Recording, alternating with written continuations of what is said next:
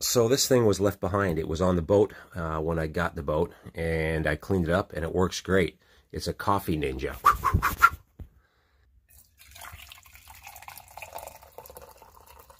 It's a little bit too big, though, um, for this counter, so it's got to go.